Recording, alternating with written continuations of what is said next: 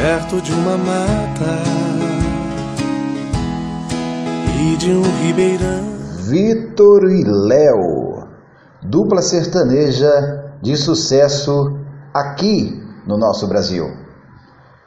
Foi uma dupla formada pelos irmãos Vitor Chaves Zapalá Pimentel e Leonardo Chaves Zapalá Pimentel, ambos nascidos em Ponte Nova, Minas Gerais.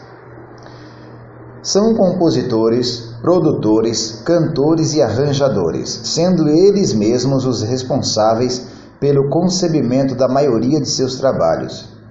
Em 2018, a dupla deu uma pausa na carreira, tendo sido o último show em São José do Rio Preto, em São Paulo, no dia 29 de setembro de 2018.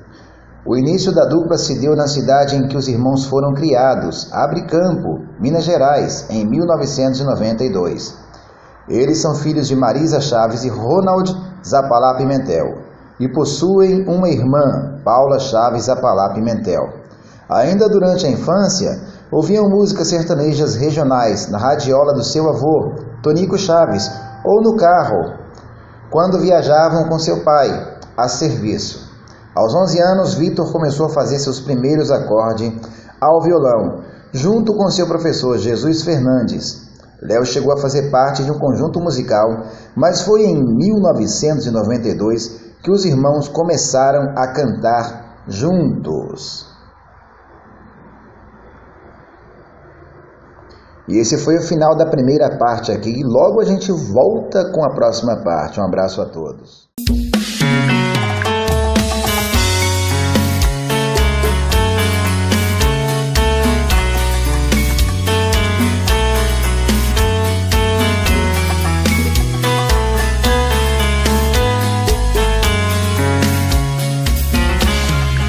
Já falei para você.